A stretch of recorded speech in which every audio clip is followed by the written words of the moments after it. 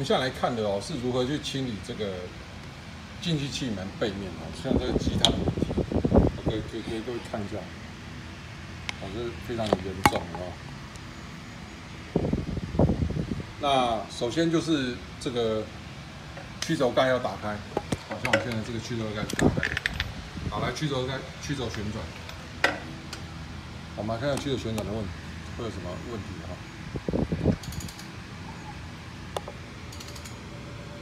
来一直转，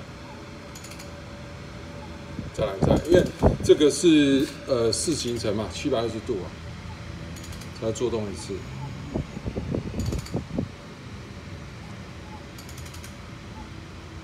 好，再转再转，好，看到没有？气门开了，对不对？再继续，继续。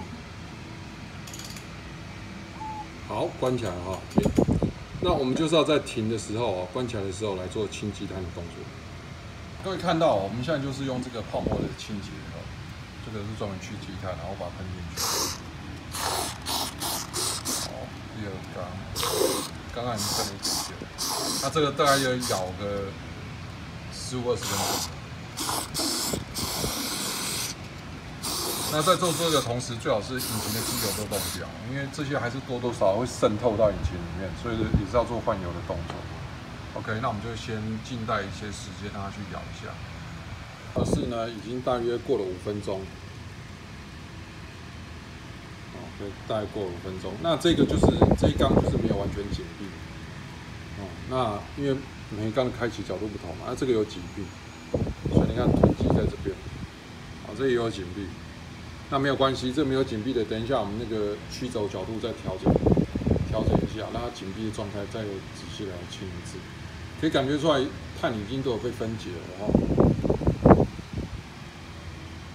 现在呢已经过了十分钟，好，所以我们来看一下，就里面因为这一缸有漏。没有完全密密密闭啊，所以你看到那个，但鸡蛋已经少很多了。好，然后这个就是有密闭，好，所以那个已经泡沫变成水了，积在那边。好，那我现在把水抽出来哈。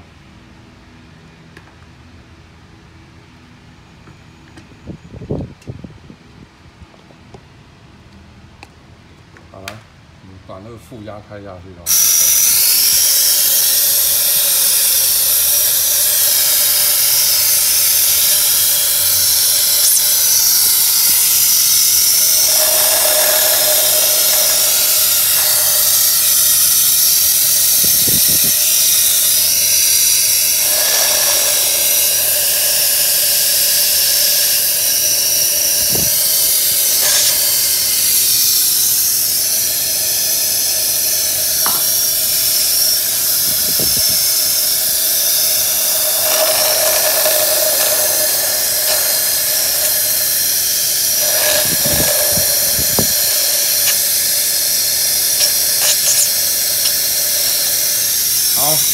下来看，各位看到没有？见证奇迹，干干净净呐！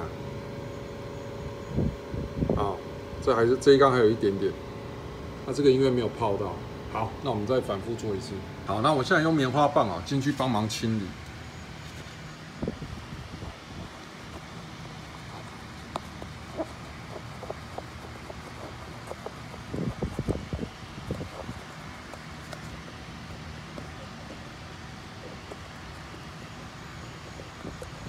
其实现在如果发生任何的意外，包括棉花棒掉在里面，其实都还拿得到。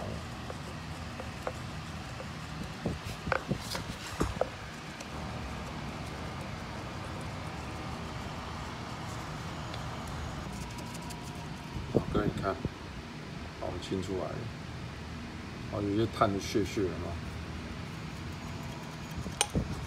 现在是最右边的这一缸，刚刚没有什么那个清到的哦。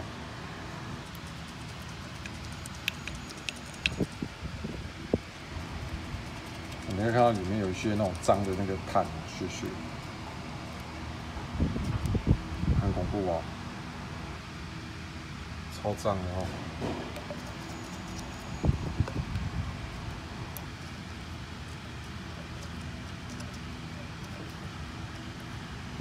好，我现在用负压抽干净它。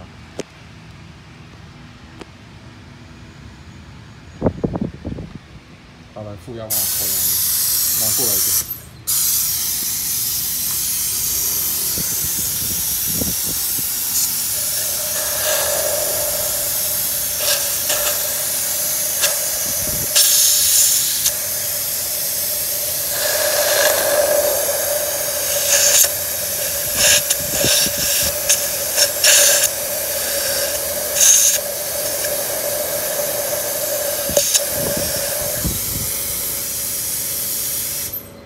好，各位有没有差很多？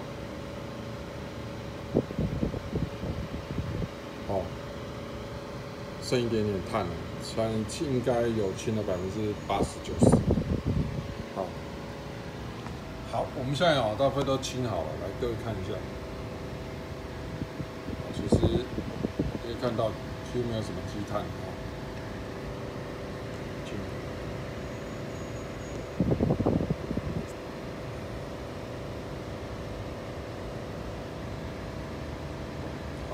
这一缸，好，完全都清干净。再来这一缸，好这缸更干净。那为什么会三缸的积碳不一呢？其实很简单，有轨啊，哦，有轨，有轨给他们的油，哦，呃，三个气缸哦，绝对不可能会等量的，因为有一个 一定有一缸先到，一缸最后到，所以三个人的奶水哦不会是一样的。那清这个呃积碳的时候呢，它刚刚我们喷的这个泡沫，千万不要让它溢出来去咬到这个引擎 block 哦。有的时候这种粉体啊会被它咬伤，然后会留下这个无法磨灭的啊这种伤害，就是那个咬坏掉，烤漆咬坏掉，这这是一种粉耐热粉体。OK，所以呢，各位坊间有卖这种什么？什么清油路的啦，清积碳的啦，你真的相信吗？哦，我们这样用轻的就搞掉一整天了，你真的相信那个加到汽油里，然后你里面积碳就会被它清的干干净净的吗？你真的是活见鬼啊！这种鬼话你就不要相信，不可能的事。啊。